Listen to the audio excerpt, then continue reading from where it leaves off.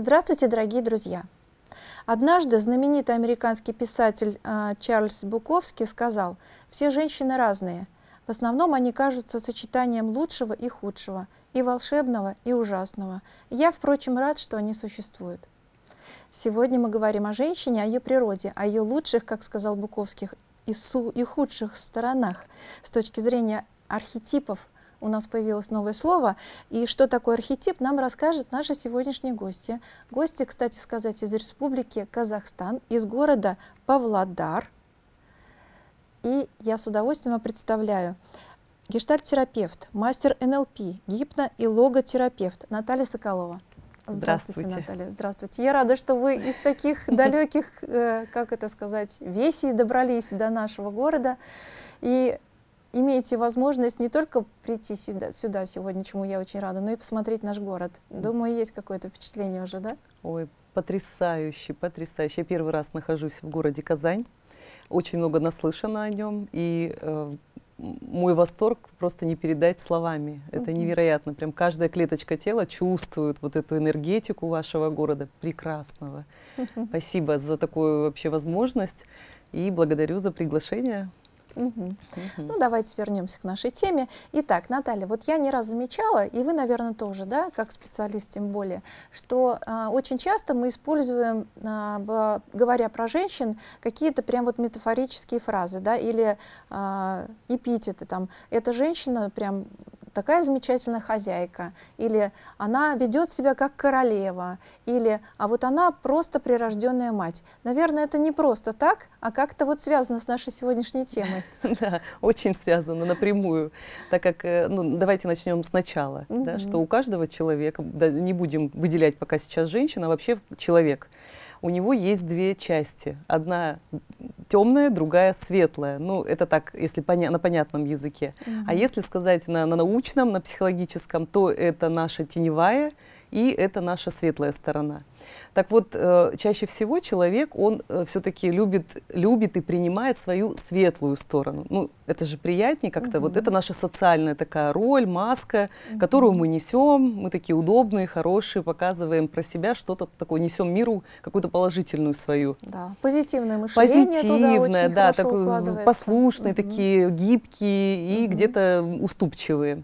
Ну, потому что социум так нас, чтобы принимал. Угу. Но, но при всем при этом у нас есть и другая часть, и она тоже имеет полное право на существование, но она часто отвергается, и это вот как раз теневая сторона.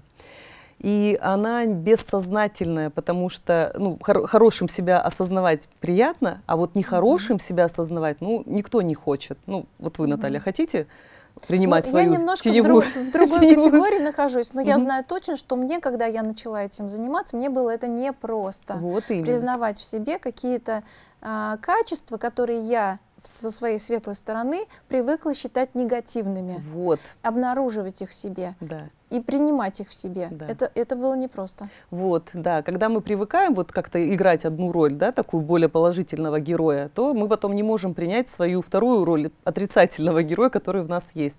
Но отрицание сознательно этой части ни, ну, никуда ее не девает. Она все равно остается в нас, и поэтому ее самое лучшее, что может сделать человек, это легализовать ее и принять эту часть. Конечно, идет э, такое сопротивление, непринятие, mm -hmm. Но тем не менее это нужно сделать.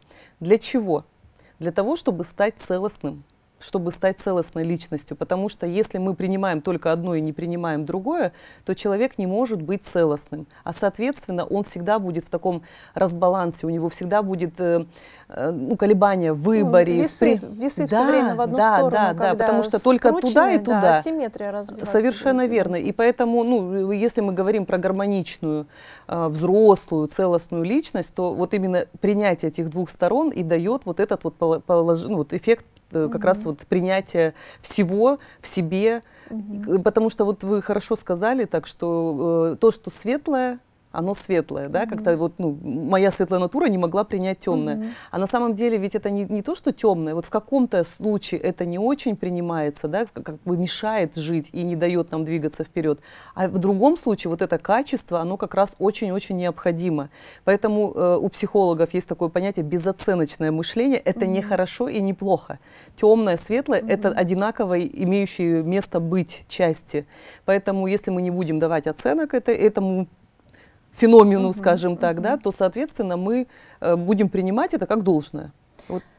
То есть, смотрите, у меня Мгм. сразу как бы вопрос, да? Мгм. Вот э, сейчас очень модно, г- и не то, что, что модно, даже не то, что модно, а люди внедряют и всячески стараются придерживаться вот этого позитивного мышления и Мгм. позитивного образа жизни, позитивного образа мыслей. И когда я сталкиваюсь с такими людьми, допустим, в жизни, у меня сразу возникает вопрос, а куда вы деваете ту агрессию, которая у вас Мгм. возникает при столкновении с определенными там какими-то ситуациями? Ведь если мы вспомним физиологию, то сначала у нас рождается гормональная реакция на ту или иную си- ситуацию благодаря Мгм. лимбическому мозгу, а Мгм. только потом мы ее как бы укутываем неокортексом в нашу как бы осознанную реакцию. Да. Вот они куда это девают? Вот как они это в себе решают этот вопрос Ну самим вот, собой? Э, Вот именно, там очень много, где идет непринятие, там очень много задерживается энергии. А энергия это Мгм. то, что разрушает. Ну, потому что непрожитые чувства это всегда про то, что застревание идет. Уже доказано научно, что э, любое непрожитое чувство человеком, оно застревает в нашем телесном ну, на телесном уровне. И, соответственно, психосоматика это вот последствия непрожитого и непринятого что-то в себе. Мгм. Если мы говорим об экологичном выражении чувств, то это, ну, можно там пойти в спорт куда-то, например, да, тру- Мгм. трудоголизм какой-то, вот, ну, трудоголик, вот человек, который идет в труд, в прям вот не просто работает, а вот прям как-то вот усиленно работает, вот именно трудоголизм это слово. Вот. э, Потом за закрытыми дверями очень много происходит неприятных вещей, да, то есть тот, кто такой все время милый, добрый и пушистый, он в дома может быть вообще Да. просто зверем и тираном.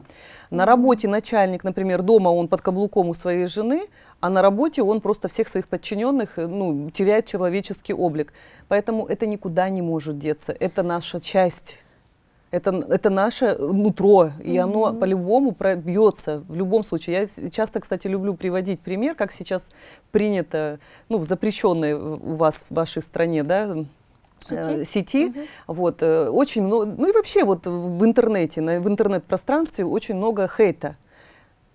Под какими-то не- не- ну, непонятными никами, без фотографий, люди прям выливают вот это Сливают все, сливают. да, Легализовала, да, вот соцсети или там интернет, он легализовал вот эту возможность вот как-то сбрасывать с себя эту негативную энергию. Мгм. Э, Ну, хорошо это или плохо, опять же, да, не будем давать оценок. Ну, вот каждый делает как может. Но я все-таки, как психолог, за экологичное вы- выражение, да, вот экология чувств должна быть соблюдена, чтобы границы не нарушались других людей, чтобы сам человек чувствовал себя гармонично в этом мире. Ну, опять же, про целостность вернемся, да. Для этого нужно, конечно же, чувства все-таки проживать и принимать, встраивать в себя все то, что есть у каждого Мгм. человека. Не надо отрицать, если вы там какой-то не- ну, нехороший человек, да, что-то вы делаете не так, то это не нужно отрицать. Это лучше принять. И э, почему важно принять? Потому что принимая, мы осознаем, что ну, мы не идеальны. Мы тогда разрешаем себе быть таким. А раз мы осознали, значит, мы можем что-то изменить в этом случае. Ну, если нас это не Ну устраивает. да, и здесь тоже надо понимать, что до крайности нельзя доводить, да? Типа Конечно. я вот такой вот, я себе позволил, вот я выпустила себя, ну, допустим, там, агрессию какую-то, да, и мне вот там, ну, условно говоря, мне психолог сказал, что мне нужно ее вот так вот реализовывать, я сейчас все буду направо и налево все крушить, да? Мгм. Ну, понятно, что вот как бы до абсурда можно довести любую ситуацию. так-то да. Но я хотела сказать, что получается, если мы взяли метафору весов, да, то вот это вот белая мо- моя сторона и моя тень, и если человек а, не осознает а, свою теневую сторону, Да. то она у него компенсируется бессознательно и может, как вот та самая граната, может улететь в любом направлении, непонятно где выстрелить, да, Конечно, где это- как бы разорваться. Вот именно, это же неконтролируемый, да, такая. неконтролируемый процесс. Это бомба замедленного действия. Она никуда не денется, и она в любом случае когда-нибудь рано или поздно, скорее Мгм. всего рано, она все равно покажет, ну, вот Мгм. проявится обязательно, да, и покажет.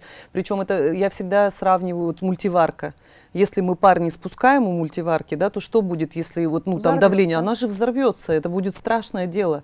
А поэтому человек, он то, такой же, он копит, копит, копит, и потом вот этот эффект идет. Угу, угу. У нас кто э, из ученых вот на, на базе чьего учения вот это вот все? Это, ну, ага. вообще можно и Фрейда взять, и Юнга взять, но я больше люблю Юнга юнгианское, угу. да, как-то вот направление мне больше нравится, подходит, потому что Юнг говорит как раз вот про теневую и светлую, угу. светлую сторону, э, как-то вот, ну, наверное, более понятным языком, что ли, что вот, ну, объясняет, угу. что это бессознательные наши части, что э, почему важно осознавать вообще то, что ты, как ты живешь, что ты делаешь, угу. да, то есть быть в процессе. А гештальтерапия, например, Перлс, да, он нас учит быть в моменте здесь и сейчас. И только осознанный человек, он может э, ну, как-то вот научиться жить вот сегодняшним днем, да, вот сегодняшний момент. Вот, например, сейчас мы здесь, в вашей прекрасной, красивой студии. И мы, ну, вот, и, по крайней мере, я наслаждаюсь этим процессом, да, я здесь и сейчас. Но это не, дано не каждому человеку. И поэтому из-за этого тоже возникает. Поэтому я, вот, я смотрю эту тему на э, примерах Юнга. Вот э, про то, что Э, у нас есть такие части, и он говорит, что их нужно осознавать, встраивать их в свою жизнь, принимать. Э, от, ну, не принятие это, этой темной стороны. Светлую-то все принимают. Со светлой mm-hmm. вообще вопросов нет, с ней все хорошо. А вот с темной стороной, как у меня, я ну, как практикующий психолог, могу сказать, что люди категорически не mm-hmm. хотят принимать свою теневую часть. Mm-hmm. Нет, прям вот, ну, какие-то там, наверное, э, какой-то страх быть отвергнутым этим обществом. Mm-hmm. Может быть, страх остаться в одиночестве. Часто ко мне приходят вот люди, да, говорят, а если я останусь один, а вдруг я стану не таким удобным, меня перестанут любить. Ну, то есть включается угу. вот эта детская, бессознательная часть. Взрослый же человек так не будет себя вести. А вот целостность, опять же, да, говоря про целостность, целостный-взрослый. А у взрослого всегда на все идет адекватная реакция. А когда мы говорим из детской позиции, то, соответственно, там об адекватности речи быть не может. Uh-huh, uh-huh. Вот, и поэтому э, ну, осознавать встраивать, принимать все свои теневые стороны, потому что это не, не, осо, ну, вот неосознаваемый процесс, это значит, что она выйдет в любой момент. Вы, угу. вы не можете это контролировать. Угу. Ну, это невозможно сделать. Вот эта тень, она как формируется? Это семья, школа, социум? Как она вообще? Хороший вопрос. Ну, это, это вообще-то встроенное в нас, да? У нас есть э, две ну, части. я хотела сказать, что понятно, что встроенное, но у всех в этой тени разные, как бы... Ну, это же это угу. наши, наш вид, да, нервной системы наши, да, восприятие мира. Это, ну, комплексное такое, как они формируются. Опять же, наше воспитание, как нас родители воспитывали. Ну, давайте вспомним, как обычно детей воспитывают. А, ну, понятно. Завидовать нельзя. Ну, Все, в тень ушла. Конечно. А, жадничать жадничать нельзя. Да. Все, жадность ушла да. в тень. Рот закрой, молчи, угу. а то глупым будешь, там какую-нибудь глупость обязательно. Конечно. Нельзя, нельзя, нельзя. Много запретов, да, то есть наш, ну, там в школе нам говорят нельзя, дома нам говорят нельзя, поэтому... Э, то есть, получается, в белом все нельзя, в белой части, в черной части все, что нельзя. Нельзя, да. И вот то, что там у тебя, у тебя конкретного человека находится вот, э, вот в этом нельзя, как, а, как, ну, как, как это можно изучить, как набраться смелости, как оттуда вот это все доставать? Ой, Наталья, хороший вопрос. Вот как раз-таки только прорабатывая себя, да, вот когда люди говорят, что ну, мне не нужен психолог, и я и так все у меня хорошо, это говорит о том, что он просто не осознает, что у него не так. Поэтому только в терапии, только в терапии, осознавая, принимая, проживая то, что не, ну, не принимается. А как еще, как э, есть такой в гештальте uh-huh. хороший такой закон, да, проекции. Uh-huh. Как бы никто его не отменял. Давайте uh-huh. начнем с этого, что вообще человеку для понимания себя всегда нужен другой человек. Зеркальце. Да, цвет мой зеркальце скажи. Ничто нас так не бесит в других людях, да, то, что мы не принимаем себе. Но это очень сложно понять, потому что это неосознаваемый же процесс.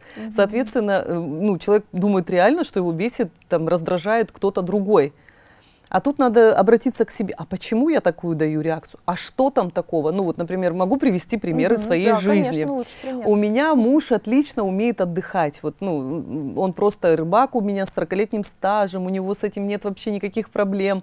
А я когда-то давно, там, лет 20 назад, я была трудоголик просто от слова, ну вот с, большим, с, больш- с большими буквами трудоголик. Ага. И, соответственно, я очень сильно раздражалась на него, как ты отдыхаешь, на три, там, на три дня может уехать на рыбалку, а я работаю.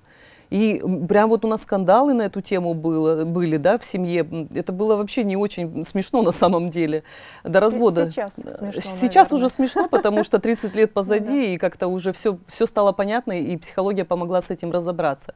И когда я начала терапию проходить, когда я поняла, что это вообще не про мужа, и узнала, почему меня это так вдруг стало раздражать, потому что он мог себе это позволить, а я, глядя на него, ну, осознать не могла, что я не могу себе это позволить. Хотя я, конечно же, могла, но почему-то не было такой привычки. Мгм. Вот, и, естественно, меня это очень сильно вот прям выводило из равновесия. Ой, вообще, вот ему спасибо большое, потому вот, вот так мы и узнаем, вот как, да? Мгм. Через других людей мы узнаем вот эти свои бессознательные части. А как определить, какая тень может быть у вас? Ну вот, допустим, что в ней, в этой тени?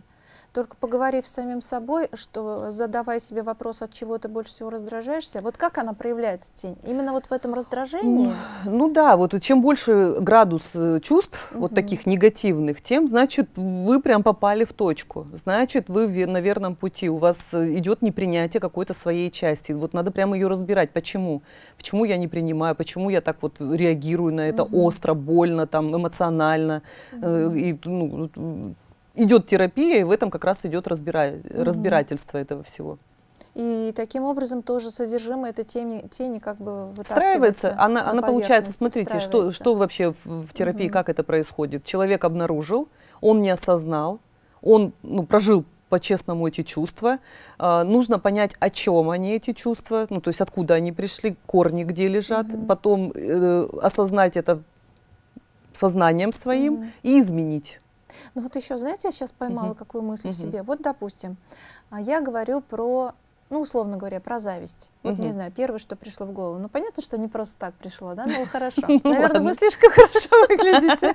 Ну вот, про- проекция пошла, да? Да-да-да. Ну-то вот. Допустим, я говорю про... Допустим, я в себе это чувство поймала, да? Так. И дальше я понимаю, что я не могу, мне, ну, то есть, условно говоря, не могу ли мне это сложно признать в себе, потому что мне будет за это стыдно, Мгм. да? А То есть, почему получается, стыдно? Я, я боюсь признать это в себе, потому что мне будет за это стыдно. Ну как это? Разве может быть человек, мамины уже установки, да, начались? Ну да. Разве может быть человек э, завистливым? Зависть это плохо, завидовать это и так далее, да? То есть получается, что вот, вот та самая формула, что под страхом сидит стыд, и Мгм. вот страх с ним встретиться, вот с этим Мгм. стыдом, да, Мгм. и обнаружить в себе что-то, вот это в любом случае надо преодолевать. То так есть, человек убегает от этого же, он категорически этого не хочет, с этим соприкасаться, потому что это слишком ну, больно, неприятно. а мы не А, любим, а мы не люди, любим ну, болеть ну, душой. ну, конечно, человек все сделает для того, Мгм. чтобы заблокировать. У нас же мы не будем забывать про наши бессознательные защитные механизмы психики,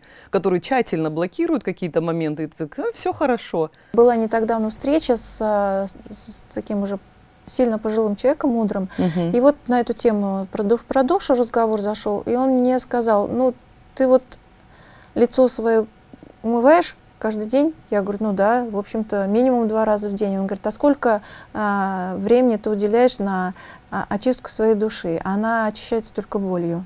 Мгм. Ну вот э, не болью там вот, болью с большой буквы, да, Мгм. то есть состраданием, болью, сопереживанием, сочувствованием, прочувствованием, Да. то есть такими вещами, которые, в принципе, переживаем, мы переживаем достаточно болезненно, но без этого никуда. Мгм. И когда человек находится вот в этом, мне кажется, в ловушке позитивного мышления, когда он себя вот такими э, розовыми Мгм, флажками мгм. или там голубенькими а- а- а- огораживаешь, что я не вот этого не вижу, вот это не про меня, вот это все, давайте сменим тему, она слишком, она слишком болезненная, да, а давайте поговорим по о другом. Избегание. Да, вот это вот, ну как бы не ведет никуда этот путь. Конечно. Это же избегание, это же блокировка.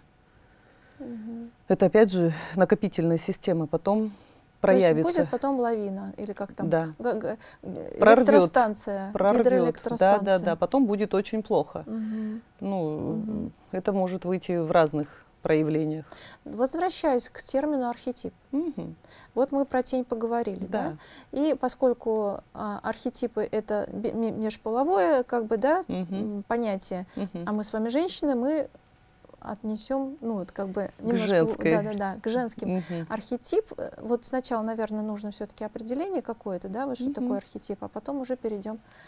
Ну что, это те части, которые есть в человеке, да, архетипы. У нас разные вообще есть, э, четыре, их, их на самом деле 12, даже кто, у всех разные теории, но вот я взяла Юнга, и у него четыре типа, архетипа То есть, женщины. э, что такое э, типы? Это как бы собирательный образ? Ну, это, что? это какой-то вот конкретный тип, да, который, которому есть какое-то обозначение. Вот, например, у, у Юнга что происходит? Он говорит, что есть э, у нас принцесса, Мгм. такой архетип женщины, и мы сразу представляем, да, что Мгм. это такое. То есть у каждого свое представление о принцессе. Ну, какая правильно, она? Название же метафоричное. Конечно, достаточно, да. конечно. Вот, вот это и есть архетип. То есть это получается юнговская типология вообще людей, Да. и она подразумевает, что, например, женщины все все женщины Мгм. условно условно делятся на четыре типа, да. и у каждой из этой группы вот если э, пользоваться тем, о чем мы раньше говорили, у, каждой, э, у каждого этого типа есть светлая Архетипа, и да. архетипа, есть светлая и темная сторона. То Да. есть есть в архетип есть слово типизация, есть архе, то есть то, что нас а, к какому-то коллективному бессознательному отправляет, да, Да, к да. накопленному уже человеческому опыту. Ага, Мгм. все, разобралась. Да, да, совершенно верно. Так вот, э, Юн как раз говорит, что есть вот э, четыре архетипа. Он не стал заморачиваться, видимо, четыре достаточно. Так вот, первый архетип — это принцесса. Ну, что приходит на ум, когда мы слышим это слово? Вот какая ассоциация первая, да? Ну, какая-то такая вот девочка, легкомысленная такая, послушная, да, принцесска, где-то капризная какая-то. Девочка в детском саде. На Да. вопрос, кем хочешь стать? Принцессой. Да, да, да. Родители, ах ты моя принцесса. Да, она так такая далее. Послушненькая, да, у нее такое прям вот она девочка, девочка, такая э, лишнего шага не сделает, слова не скажет. Ну, такая папина, мамина дочь, да, скорее всего папина, Мгм. потому что принцесска. Мгм. Итак, а э, ведь мы говорим сейчас про архетипы, поэтому Мгм. мы сразу в теневую сторону заглянем. Мгм. То есть принцесса это светлая сторона, раз мы Мгм. говорим, а темная сторона дряная девчонка.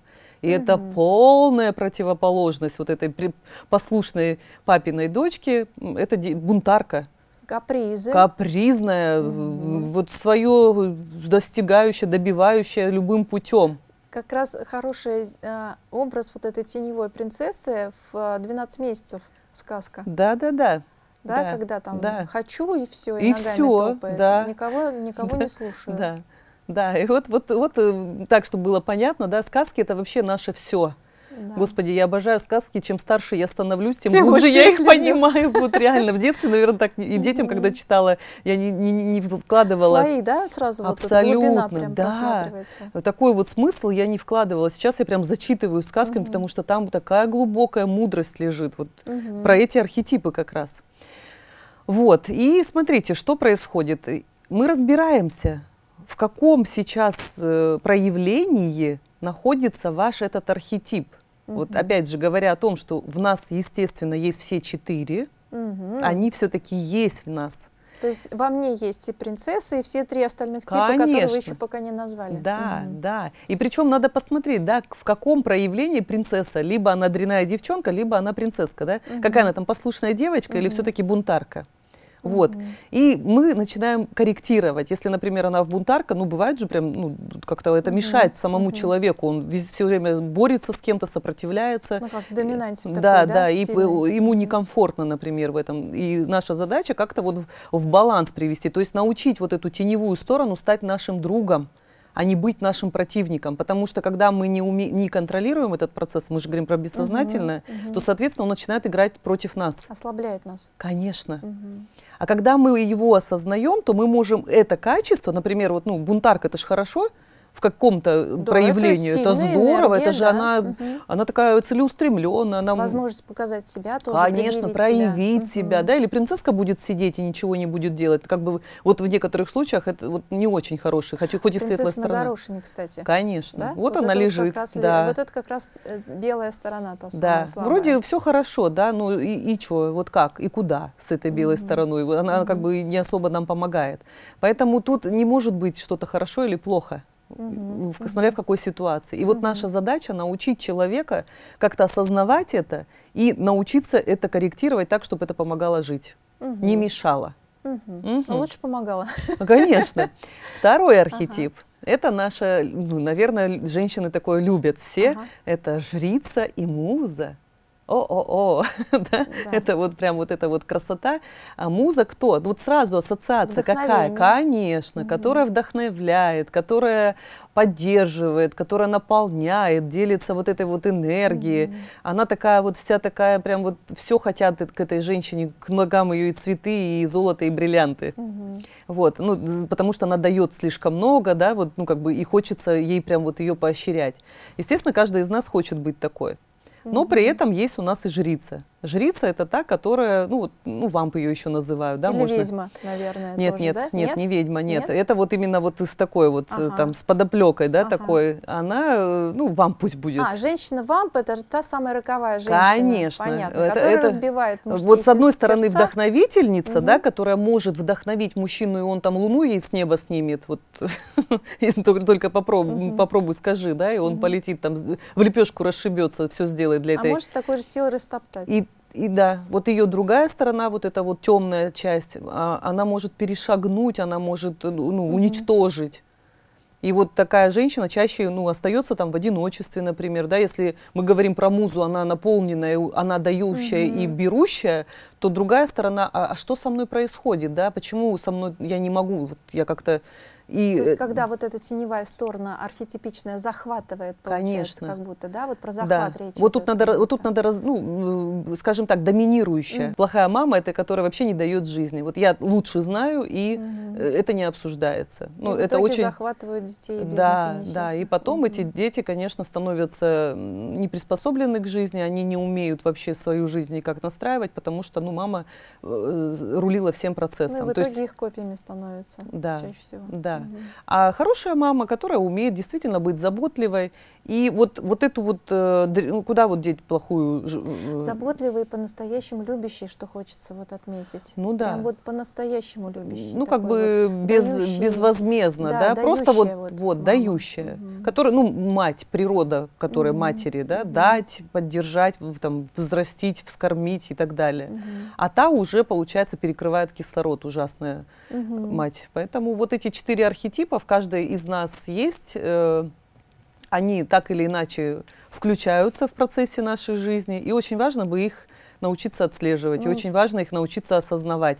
И в нужное время уметь их переключить на ту сторону, которая нам вот в данный момент нужна. Потому что Иначе они будут руководить тобой, а Да. не ты собой, собственно говоря. иначе наша жизнь превратится в ад. Мгм. Потому что, ну, вот эти вот, э, когда бессознательно начинает нами руководить, ну, получается, что мы как будто бы перекладываем ответственность на что-то, да, вот на- от нас независящее. Когда мы вообще живем неосознанно, то мы не можем контролировать свою жизнь, мы не можем э, нести ответственность за то, что в ней происходит. А когда Мгм. мы начинаем это осознавать, то мы, естественно, можем что-то изменить и можем исправить это в лучшую сторону, Мгм. чтобы наша жизнь была гармоничная, спокойная и счастливая.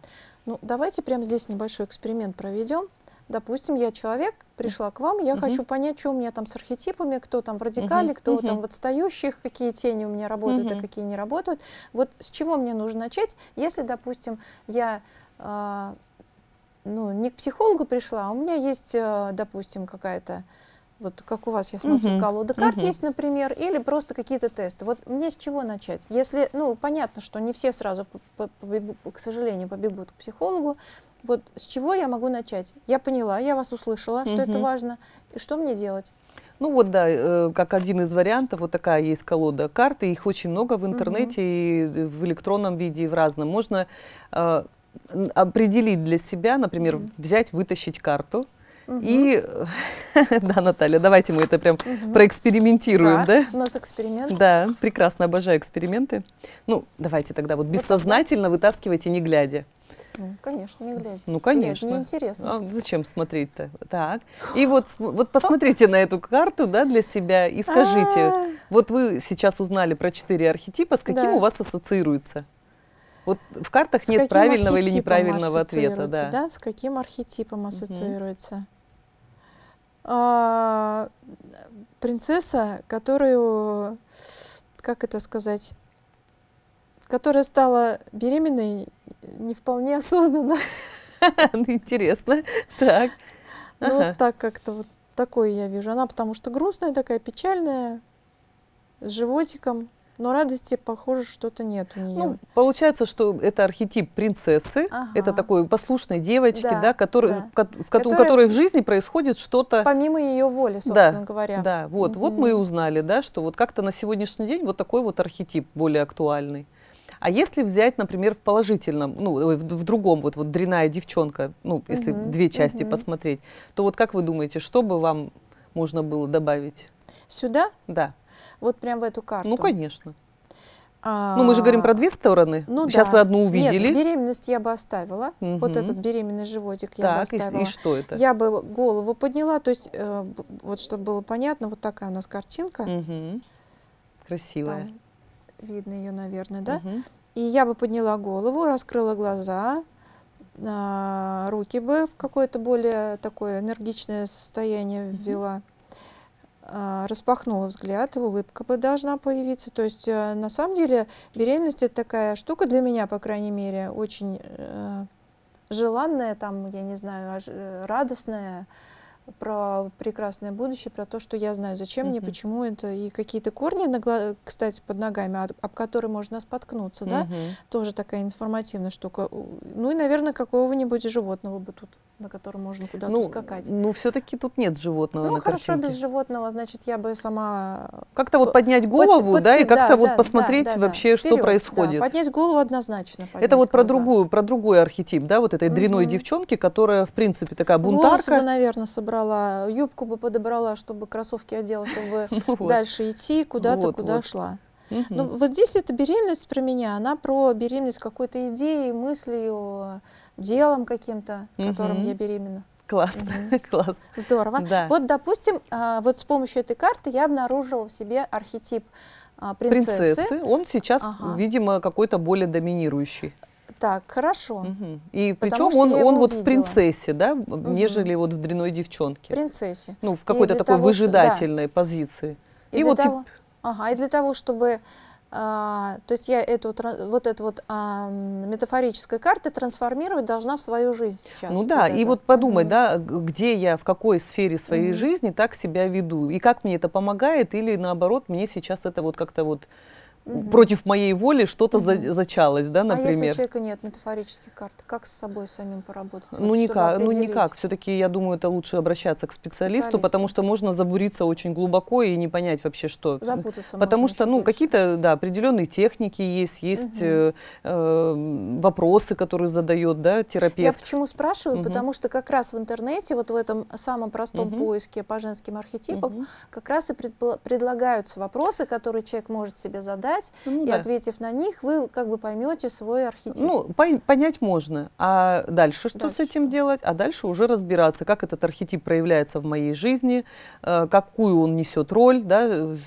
положительную или отрицательную, как он Мгм. вообще мне помогает или мешает. И, соответственно, ну, если мешает, то корректировать, брать ответственность на себя. Если помогает, ну, можно еще больше прокачивать, ведь нет же Мгм. предела совершенству. Я даже предполагаю, что есть э, люди, которые скажут, да мне, в общем-то, и без архетипов, без знания ваших архетипов неплохо жилось. Но это как будто бы про то, что, ну, можно знать и, а, а, как это, э, крестиком расписываться, да, вместо того, чтобы алфавит знать. Это Ну. все про расширение ресурса, энергии своей, да, про, свое, про знание о себе, любимом, да, почему, чем это Про может- развитие личности. Мы же говорим о развивающейся личности. Если не интересно, мы ну, с такими людьми и не работаем. Но они к Зачем? нам и не приходят. Они не придут, да. Мы работаем с тем, кто э, любит развиваться, кто любит интересоваться и, ну, как улучшать свою жизнь. Мгм, И мгм, понимать, да, что я могу еще сделать такого, чтобы моя жизнь стала более прекрасной. Мгм. Потому что, ну, бывают же кризисы возраста, например, да, вот в каких-то кризисах возраста. Кстати, вот очень хорошо про архетипы работать, когда кризис возраста, очень классно. Там мощный ресурс лежит. Находишь, находишь вот прям хороший такой поддерживающий материал в Мгм. работе, именно в архетипах. Мгм. И человек как-то вот вдохновляется. нах- Ну вот э, почему любят, например, карты Таро, Мгм, да, какую-то нумерологию, астрологию. Там дают какое-то решение. Мгм. То здесь э, не решение, здесь такая тоже поддержка, но она более проработанная. Она идет ну, не просто сказали и ты повторил, а здесь именно ты проработал, ты проговорил и осознал. Знаете, мне что это напоминает? Мгм. А, вот про вот эту проработку и про то, что мы берем, допустим, из карт Таро.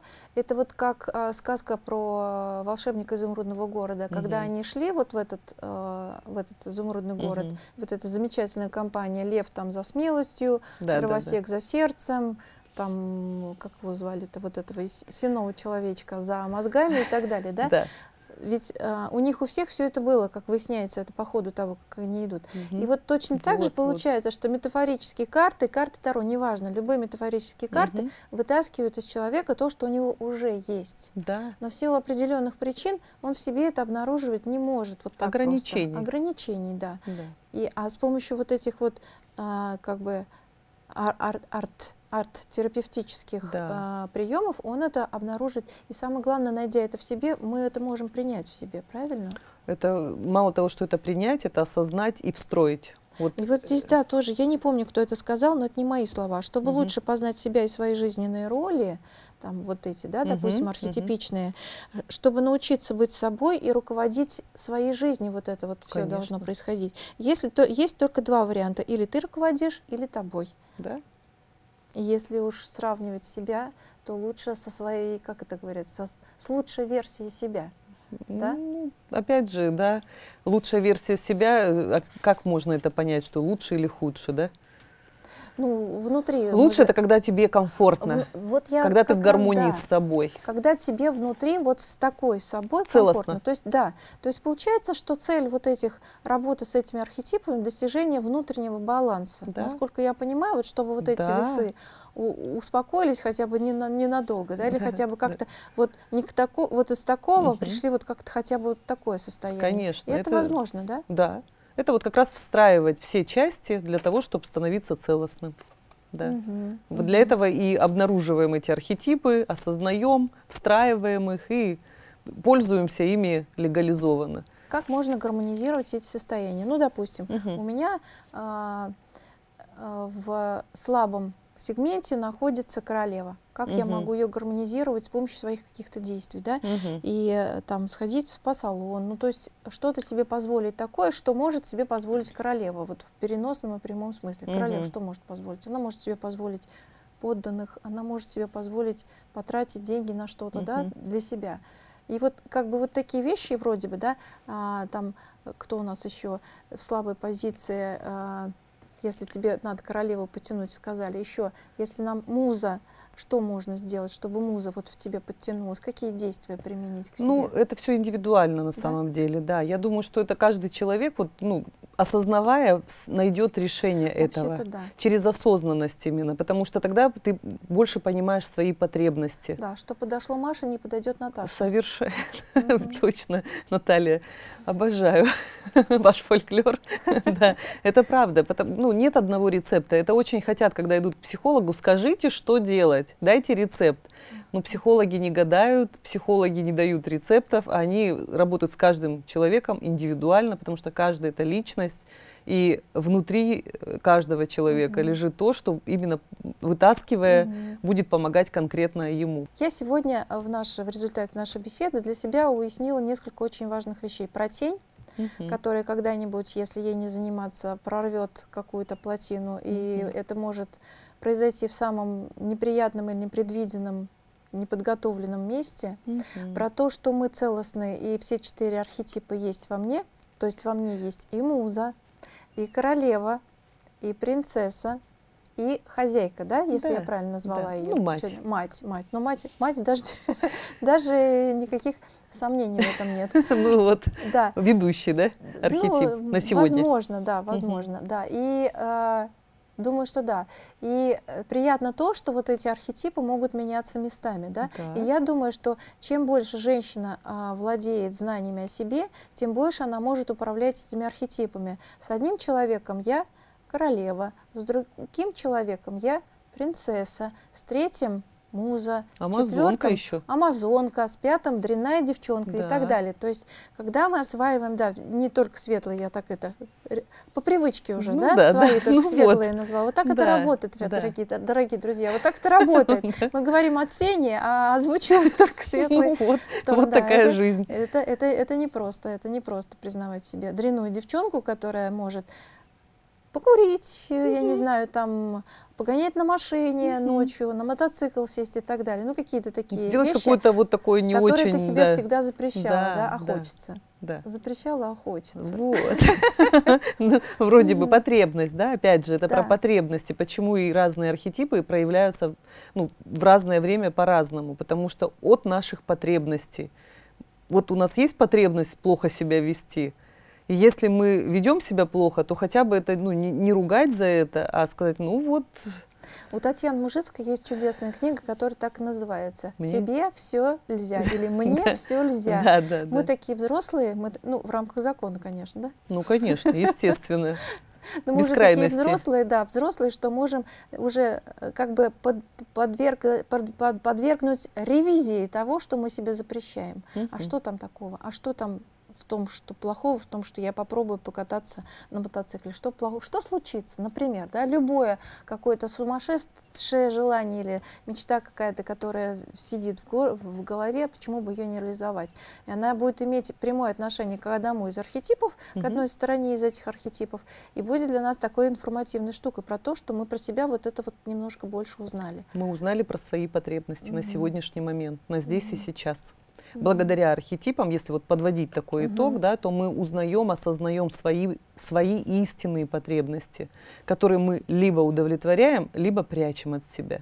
Неудовлетворенном Да. состоянии. И если мы не удовлетворяем, то мы становимся злыми и негативными, потому что потребность была, а мы ее не осуществили в силу каких-то своих там ограничений. А мы знаем с вами, что потребности это не шуточная вещь, которая всегда будет требовать своего, ну как бы удовлетворения ее. Ну, потому что потребность это то, что ну, открывает перед нами кучу возможностей. И если мы не даем этим потребностям как-то развиваться, значит, мы не удовлетворяем, ну, не берем никаких возможностей, которые нам даются. И от этого человек становится ну, не очень гармоничным, опять же. Совсем не Мгм. гармоничным. Он опять уходит в дисбаланс. А мы говорим о том, чтобы быть в балансе, все-таки быть гармоничным. И для этого, дорогие Мгм. женщины и мужчины, да, нужно удовлетворять свои потребности и находить э, ну, миллион возможностей для того, чтобы это сделать ну, более экологично и адекватно. Взрослому человеку только доступна адекватная реакция. Только взрослому, целостному человеку. Мгм. Адекватно применять все эти части в себе. Мгм. Мгм. Наталья, спасибо вам огромное за беседу и за то, что вы нашли возможность, несмотря на ваш жесткий график, прийти к нам. Очень интересная беседа. Для меня она была на самом деле очень энергонаполняющая. Вот для меня вот то, что вы сейчас рассказали про архетипы, оно, знаете, прям окрыляет. Я вот уже готова к тому, чтобы встречаться со своими теневыми сторонами, уже не так бояться, не так убегать в норку Мгм. и как-то вот так проявлять себя в, это, в этой части. И спасибо вам еще раз большое. А, зрителям я могу сказать, не, не, не хочется сказ- говорить, будьте в балансе, это как-то немножко искусственно звучит, но то, что там есть к чему стремиться, и нам всем, каждому из нас будет от этого хорошо, сначала плохо, больно, а потом хорошо. Это, наверное, Ну, так. Трансформация, она такая, да. Переход с одного состояния в другое, но не- иногда не очень приятный. Но, Но тем не главное, менее, но главное потом это какой все про взрослость. И главное, да, Да. там, там будут призы. Там бонус будет Там мощный. призы. Там можно будет делать все, что ты хочешь. И брать все, что ты хочешь от этой жизни. Ну, в рамках закона, как мы Да, сказали, В да? рамках закона. Все Да. в рамках закона. Спасибо большое. На сегодня это все. Берегите себя. С вами была программа «Фокус на человека». В студии работала Наталья Ежова. Всего хорошего.